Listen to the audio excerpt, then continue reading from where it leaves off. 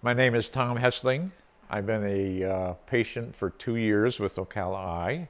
Dr. Ahmed was my uh, surgeon for my eyes, and uh, I'm thrilled. I can see.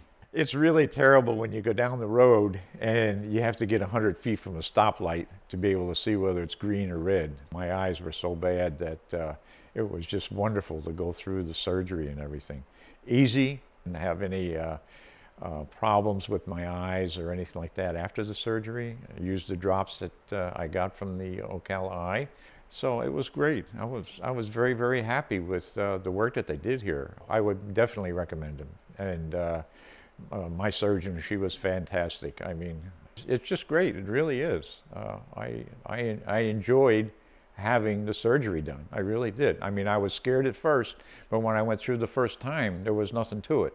If you have a problem with your eyesight and your vision is very weak, not very strong, and you can't see too well, then what you need to do is schedule an appointment with Ocala Eye. They're wonderful people, great doctors, and the, te- and the techs are just fantastic.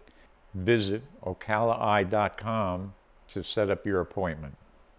Thank you.